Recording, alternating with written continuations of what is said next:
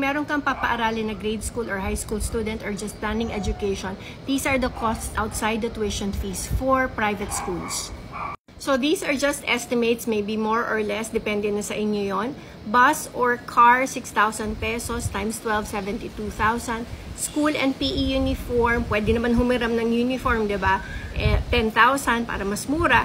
Shoes, bags, pens, and other things that are needed for um, for your kid, 10,000.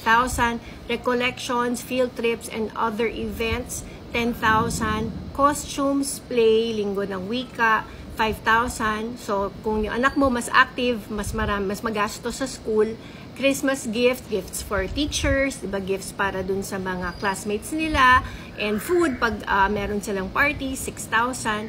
School fair and family day, 5,000 or Teacher's Day. Book fair, minsan pumupunta yung bookstore dun sa school para mas makabenta sila, maka-choose yung anak nyo, eh, 2,000 minsan di naman natin sila mahihindian, di ba? Grand total is 120,000. So, preparation is the key. It's good to know. Uh, ito yung mga cost outside tuition fees. So, aside dun sa preparation ng tuition fees, ito pa yung additional. Like and follow.